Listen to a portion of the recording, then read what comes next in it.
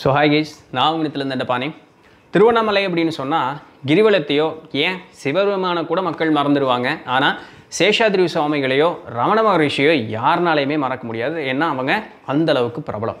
இவர்கள் மட்டும்தான் அந்த இடத்துல வாழ்ந்த ஞானியர்களா அப்படின்னு கேட்டால் இல்லை. அவர்கள் வந்து அந்தளவுக்கு பிரபலம் அடையாமல் இருந்திருக்கலாம். ஆனால் மக்களுக்கு சேவை செய்த செய்கிறதுல வந்து அவர்கள் எந்த அளவுக்குமே குறை வச்சுக்கிட்டதே கிடையாது. அப்படிப்பட்ட ஒரு மகானை பற்றி தான் இன்றைக்கி நம்ம பார்க்க போகிறோம் திருவண்ணாமலை பக்கத்தில் போரூர்னு ஒரு ஊரில் கலசப்பாக்கம்னு ஒரு கிராமம். அந்த கிராமத்தில் ஏறத்தாழ ஒரு நூறு வருஷத்துக்குள்ளாக வாழ்ந்த ஒரு மகான் தான் ஸ்ரீ பூண்டி மகான் அப்படிங்கிறவர். இல்லாட்டி பூண்டி ஆற்ற சுவாமிகள்னு சொல்லக்கூடியவர். இன்றைக்கி அவரை பற்றின ஒரு வரலாறு தான் பார்க்க போகிறோம் இன்றளவும் அவருடைய சமாதிக்கு சென்று வழிபடக்கூடியவர்களுக்கு மனதளவுலேயும் மனதளவுலையும் சரி வாழ்க்கையிலையும் சரி உடல் அளவுலையும் சரி என்ன குறைகள்னு போகிறோமோ அந்த குறைகள் முற்றிலுமே நிவர்த்தி ஆயிட்டு வந்துட்டு இருக்கு அப்படின்னு சொல்கிறாங்க ஸோ இன்றைக்கி அந்த பூண்டி மகா சுவாமிகளை பற்றி தான் இன்றைக்கி நம்ம வீடியோவில் பார்க்க போகிறோம் என்றைக்குமே ஜென்ரலாக இந்த மாதிரி ஆட்கள் வர்றாங்கன்னு வச்சுங்களேன் ஒரு ஊருக்கு வர்றாங்க அப்படின்னு சொன்னால் அவங்க ஒன்றும் பெருசாக நான் ஒரு பெரிய மகான்னு சொல்லிக்க போகிறதில்ல இல்லை இப்போ பயங்கரமாக ஆடம்பரமான சிவவேடம் பூண்டெல்லாம் வரப்போகிறதில்ல நார்மலாக ஒரு பை பைத்தியக்கார மாதிரியே பிச்சைக்கார மாதிரியே வரப்போகிறாங்க அப்படி தான் அவர்களுடைய தோற்றம் இருக்க போகுது. ஜென்ரலாக இது ஒரு இது ஜென்ரலாக நடக்கிற ஒரு விஷயம்னு வச்சுங்களேன் அப்படி தான் இவரும் அந்த கலசப்பாக்கம்னு சொல்லக்கூடிய அந்த கிராமத்திற்கு வந்திருக்காரு. ஒரு நல்ல நீண்ட தாடியும் நல்ல ஒரு சக்தி வாய்ந்த ஒரு பார்வையும் இருந்திருக்கு. இருந்தாலுமே தோற்றத்தை வச்சு மனிதர்கள் ஒருத்தர் எடை போடுறதுங்கிறது கேஷுவலான ஒரு விஷயம் தான் அப்படி தான் இவர்களையும் யாருமே கண்டுக்காமல் விட்டுட்டாங்க. ஆனால் இவர் உண்மையாலுமே மகான் அப்படிங்கிறது பின்னாடி நடந்த ஒரு அதிசயத்தில் மக்களுக்கு தெரிஞ்சிருக்கு பின்னாடி பார்ப்போம். அது தெரிஞ்சதுக்கப்புறம் சார சாரைய மக்கள் வந்து அவர்கிட்ட போய் தங்களுடைய குறைகளை சொல்லும் பொழுது திருநீர் கொடுக்கறது மூலிகைகள் சொல்லி அந்த மூலிகைகள் கொடுக்கறது அப்படின்னு சொல்லி மக்களுக்கு நிறைய உதவிகளை செஞ்சுட்டு வந்துட்டு இருந்திருக்கார். தான் சமாதி அடைகிற நாள் வரைக்கும்.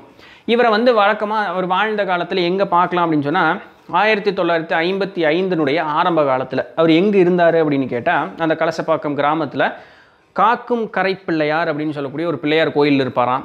அப்படி இல்லை அப்படின்னு சொன்னால் ஒரு இடிஞ்சு நிலையில் இருந்த ஒரு மசூதி பக்கத்தில் அங்கே உட்காந்துட்டு இருப்பாராம். அந்த ரெண்டு இடத்துலையுமே இல்லைன்னா கண்டிப்பாக திரௌபதி அம்மன் கோவில் ஸோ அந்த கோவில் பக்கத்தில் இருக்கக்கூடிய ஒரு மரத்தினுடைய நிழலில் உட்காந்துட்டு இருப்பாராம். ஸோ இந்த மூணு இடத்துல எங்கே போனாலுமே அவரை வந்து பார்க்கலாம் அப்படின்னு வந்து சொல்லப்படுது. பார்க்குறக்கு எப்படி இருப்பாராம் மேலேருந்து கீழே முழங்கால் வரைக்கும் ஒரு மாதிரி கம்பளி மாதிரி இருக்கக்கூடிய ஒரு சட்டை வந்து போட்டிருப்பாராம்.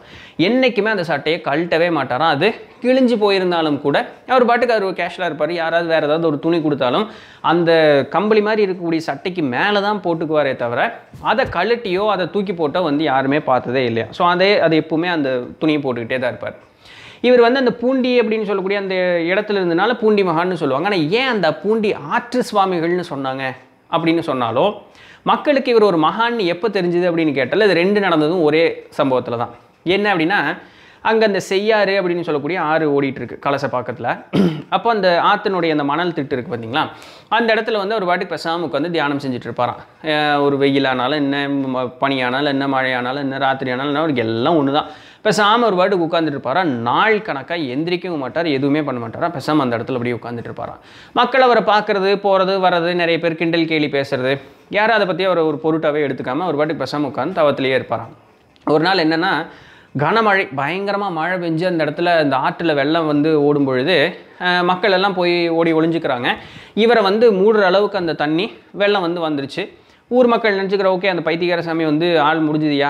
அப்படின்னு சொல்லி அந்த வெள்ளமெல்லாம் அடங்குனதுக்கப்புறம் போய் பார்க்கும் பொழுது அவர் எப்படி அமர்ந்திருந்தாரோ அதே போல் பெசாமல் உட்காந்துட்டு இருந்திருக்காரு. உடல் எல்லாத்தையும் ஃபுல்லாக அந்த மணல் வந்து மூடிடுச்சு. தலை மட்டும் இப்படி மேலே இருக்குது மக்களுக்கு பார்த்தோன்னு ஒரே ஆச்சரியம். அவர் பாட்டுக்கு அந்த ம உடல் மேலே இருக்கக்கூடிய அந்த மணல் எல்லாம் அவரே தட்டி விட்டு அவர் பாட்டுக்கு பேசாமல் எந்திரிச்சு போயிட்டாரான் அப்போ இதை பார்த்ததற்கு அப்புறம் தான் மக்களுக்கு வந்து தெரிஞ்சிருக்கு ஓகே இவர் வந்து ஒரு சாதாரண பைத்தியக்கார மாதிரியோ யாரோ ஒரு பிச்சைக்காரனோ கிடையாது இவர் ஒரு மகான் தான் அப்படின்னு சொல்லிட்டு அதிலிருந்து தான் அவருக்கு வந்து ஆற்று சுவாமிகள் அப்படின்னு சொல்லக்கூடிய அந்த ஒரு பேர் வர ஆரம்பிச்சிருக்கு. ஸோ இப்படி தான் வந்து மக்களுக்கு வந்து இவர் ஒரு மகான் அப்படிங்கிறது தெரிய வர ஆரம்பிச்சிருக்கு. அதுக்கப்புறம் தான் சார சரியாக மக்கள் அவர்கள்ட்ட போக நிறைய உதவிகள் வந்து அவர் செஞ்சு கொடுத்துருந்துருக்கார். இவர் அதுக்கப்புறம் கொஞ்ச காலத்திற்கு அப்புறம் அந்த ஆயிரத்தி தொள்ளாயிரத்தி ஐம்பத்தி ஒன்பதாவது வருஷம் அந்த ஊரினுடைய முன்சிஃப் அப்படின்னு சொல்லக்கூடியவர். திவான் மாதிரின்னு வச்சுங்களேன் அந்த முன்சிஃப் அந்த ஊரை பார்த்துக்கிறவர். அந்த முன்சிஃப்னுடைய வீட்டினுடைய திண்ணையில் போய் உட்காந்துக்கு வரான் அப்போ கொஞ்ச நாள் அவர் எப்பவுமே அதை வழக்கமாக வச்சுருக்கும் பொழுது அந்த முன்சிஃப் என்ன பண்ணிடுறாரு? அந்த வீட்டை வந்து அவருக்கு கொடுத்துட்றாங்க. அவருக்கு கொடுத்தாலுமே பத்தொம்பது வருஷமாக என்னமோ கீழே பார்க்கலாம். அத்தனை வருஷமும் அவர் வந்து அந்த வீட்டுக்குள்ளே போனதே கிடையாதாம். அவர் வாட்டுக்கு அந்த திண்ணையில் உட்காந்துக்குவார் அந்த மூணுக்கு ஆறு திண்ணை அதுதான் அவருடைய வீடு. அந்த திண்ணையிலேயே இருப்பார். எத்தனை மக்கள் வந்தாலும் சரி யார் வந்தாலும் சரி அங்கே அவர்களுக்கு ஏதாவது குறைநிறைகள் இருந்தால் கேட்பாராம் அவராக எதுவும் பேச மாட்டார்.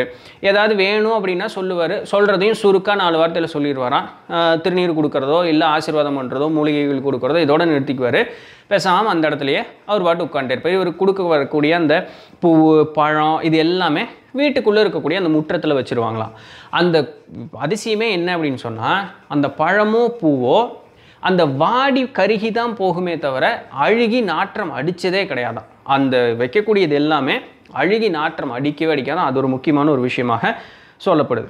அப்போ இப்படியே மக்களுக்கு நிறைய உதவிகள் செஞ்சுட்டு இருந்தவர் ஒரு ஒரு ஏழை விவசாயி தன்னுடைய மகளினுடைய திருமணத்திற்கு பொருள் இல்லை. வரனெல்லாம் பார்த்தாச்சு. ஆனால் பொருள் வசதி இல்லை. எனக்கு என்ன பண்ணுறதுன்னு தெரியல. நீங்கள் தான் காப்பாற்றணும் அப்படின்னு கேட்கும் பொழுது சரி ஒன்றும் பிரச்சனை இல்லை. உன் வீட்டுக்கு பக்கத்தில் ஒரு விவசாயி இருக்கான்ல அவங்ககிட்ட போய் அவனுடைய அந்த கொழு ஒன்று இருக்கும். பழைய கொழு இருக்கும். அதை வாங்கிட்டு வா. கொழுவுனா ஏற்கலப்பையினுடைய அந்த முகப்பு இருக்குது பார்த்திங்களா அதில் வந்து ஒரு இரும்பு இப்படி வச்சுருப்பாங்க. ஊசி போல் இருக்கக்கூடிய ஒரு இரும்பு. அதை தான் நிலத்துக்குள்ளே வச்சு இப்படி கிளஞ்சி எடுத்துகிட்டு வருவாங்க. அந்த கொழு ஒன்று வாங்கிட்டு வா அப்படின்னு. அது தேய தேய அப்படியே ஷார்ப் பண்ணிகிட்டே இருப்பாங்க. ரொம்ப இத்து போய் பழசாகி போச்சு அப்படின்னு சொன்னால் அதை இடைக்கு போடுறதும் வேற என்ன இரும்பை வச்சுட்டு வேறு என்ன பண்ணுறது அந்த கொழு வாங்கிட்டு வா அப்படின்னாராம். அப்போ அந்த கொழு சரின்னு கேட்டுட்டு வீட்டுக்கு பக்கத்தில் போய் அந்த விவசாயிகிட்ட கேட்டு அந்த கொழுவு வாங்கிட்டு வந்து இவர் சுவாமிகிட்ட கொடுத்தோன்னே பேசாமல் அவர் வாட்டுக்கு உட்காந்து அந்த கொழுவு இப்படியே தேய்ச்சிட்டே இருந்தாராம். தேய்க்க தேய்க்க தேய்க்க நேரமாக நேரமாக நேரமாக அந்த கொழு முழுசும் அப்படியே ஃபுல்லாக தங்கமாக மாறிடுச்சான் அந்த கொழுவை அவர்கிட்ட கொடுத்து இதை வித்து உன்னுடைய பொண்ணுனுடைய கல்யாணத்தை நடத்திக்கோ அப்படின்ட்டாராம். ஸோ இந்த மாதிரி யோக முறையில் ரசவாதம் செய்யக்கூடிய அளவுக்கு சக்தி வாய்ந்தவராக இவர் இருந்திருக்கார். அதில் ஒரு நாள் வந்து அப்படி நாள் போயிட்டு இருந்திருக்கு ஒரு நாள் அந்த ஊரில் வந்து கடும் பஞ்சம்.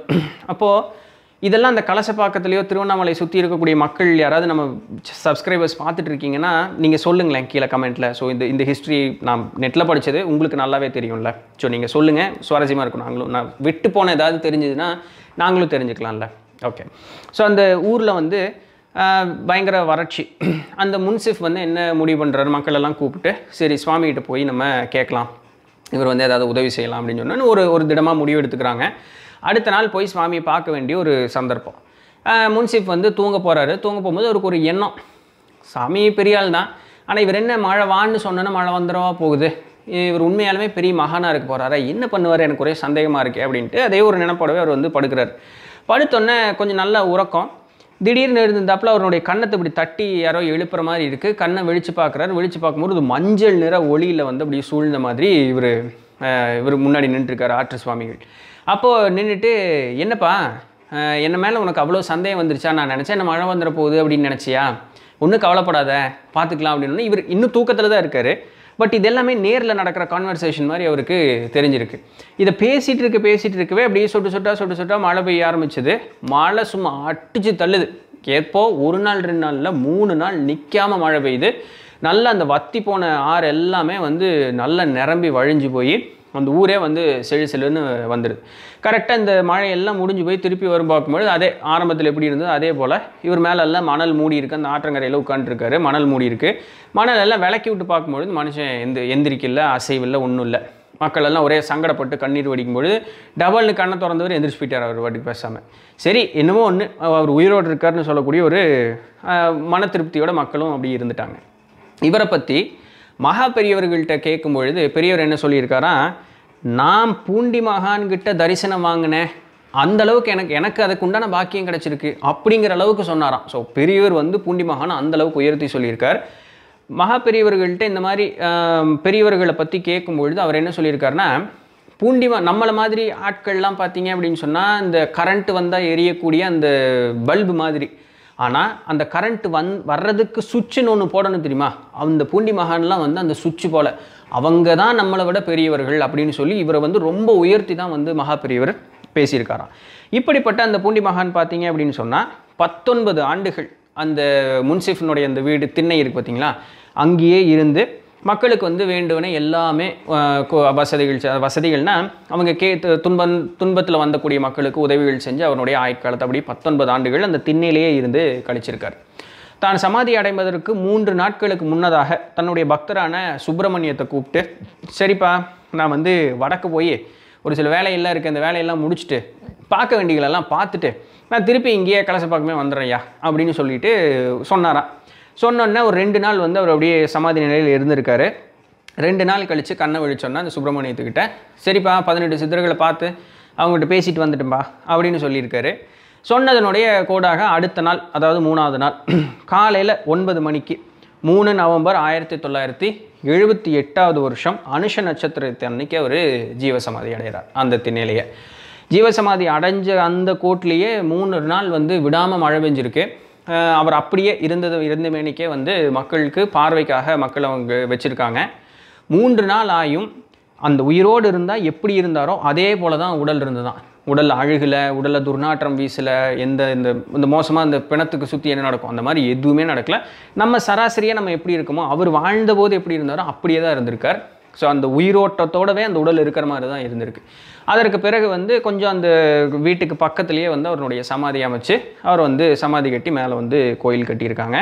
இன்றைக்கி திருவண்ணாமலை மாவட்டம் போரூர் அப்படின்னு சொல்லக்கூடிய அந்த ஊரில் கலசப்பாக்கம்ங்கிற கிராமத்திலிருந்து மூன்று கிலோமீட்டர் தொலைவில் வந்து இவருடைய ஜீவசமாதி இருக்குது ஸோ இன்றைக்கும் வந்து நிறைய மக்கள் போய் அவருடைய ஜீவசமாதியை வழிபட்டு தங்களுடைய குறைகளை கேட்டுட்டு தான் வந்துட்டு இருக்காங்களாம். அத்தனையும் நல்லபடியாக நிறைவேறி முடியுது அப்படின்னு வந்து மக்கள் வந்து நிறைய பேர் சொல்கிறாங்க ஸோ உங்களுக்கு வாய்ப்பு கிடைச்சிது அப்படின்னு சொன்னால் திருவண்ணாமலை போய் நம்ம நிறைய மகான்களை இதெல்லாம் பார்க்குறோம். கண்டிப்பாக போரூர் பூண்டி சுவாமிகள். ஸோ அவரையும் போய் பார்த்து தரிசிச்சுட்டு வாங்க உங்களுக்கு வேண்டுவன எல்லாமே கிடைக்கும் அப்படிங்கிறது வந்து என்னுடைய விருப்பம். ஸோ அடுத்த தடவை நான் திருவண்ணாமலை போனேன் அப்படின்னு சொன்னால் கண்டிப்பாக இவரை போய் பார்க்கணும். அப்படியே இதுதான் இன்றைக்கு உண்டான வீடியோ. நீங்கள் என்ன நினைக்கிறீங்கன்னு கீழே கமெண்ட் பண்ணுங்கள் அப்படி நம்மளுடைய சேனலை சப்ஸ்கிரைப் பண்ணுங்கள் நம்மளுடைய மற்ற சேனல்ஸ் மற்ற டீட்டெயில்ஸ் எல்லாமே டிஸ்கிரிப்ஷனில் இருக்குது ஸோ அதையும் போய் பாருங்கள் வேறு என்ன?